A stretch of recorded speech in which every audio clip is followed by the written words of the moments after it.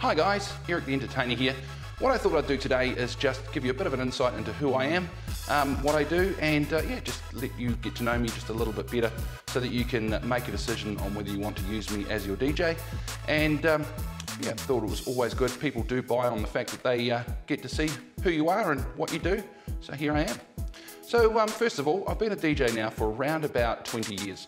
And uh, during that time, I've kind of carved out a bit of a niche in the corporate and wedding space, but can still do the likes of your 30s, 40s, 50s, um, that kind of thing. I'm not really a 21st DJ. I'm definitely not a drum and bass or club type DJ. Um, my speciality is around the 70s, 80s, 90s, a little bit of today, and, uh, and that kind of music because I find that that's the kind of stuff that people dance to and have fun with, and at the end of the day, that's what your function's all about, is making sure that your guests have a lot of fun, uh, they enjoy the music, they dance, uh, they can sing along to what they're listening to and they kind of know what, what's going on. So let's have a wee look around first of all my rig and uh, let's see what, uh, what I've got and give you a bit of an idea of, of, what I do. So on the very front of the rig I've got these cool Nanoleafs. Uh, they are the lights that flash in time with the music and they uh, give off a really cool look and uh, make the whole place look awesome. For my main lights, I have a Chauvet gig bar, and that has uh, two coloured spotlights. It's also got the uh, side ones that flash around, you can see there, a laser on the top, and also some strobe lights that uh, make the whole place look really good as well.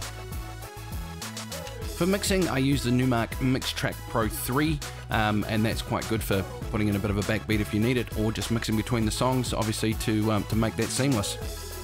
Mixing software I use is a program called Virtual DJ, and what that just allows me to do is be a little bit creative. And what you can see I'm doing here, I've got a couple of songs loaded into the uh, to the decks, just fading between the two of them, and um, yeah, it just makes it a nice seamless uh, process when you're listening, and you just get to enjoy the sounds.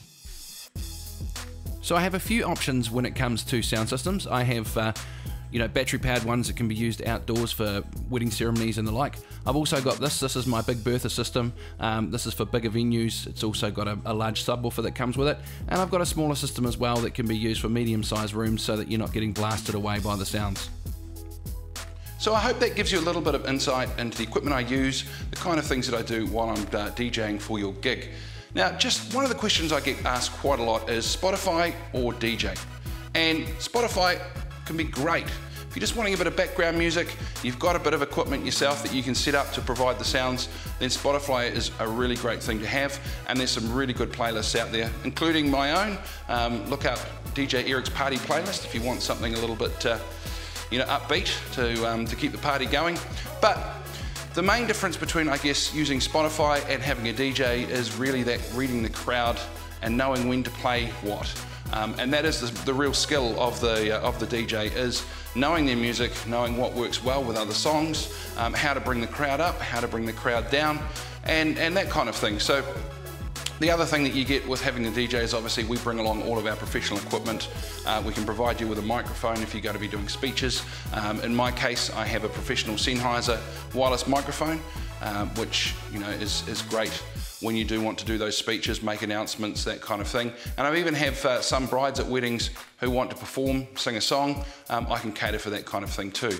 Uh, I do have a very large music selection, but if you do have special requests or songs that are special to you, let me know and I can source them for you and make sure they're part of the playlist for that special day. So that's me, I'm Eric the Entertainer. Hope that's given you a little bit more information about who I am and what I do. And uh, yeah, really looking forward to hearing from you and getting your booking. Cheers for that.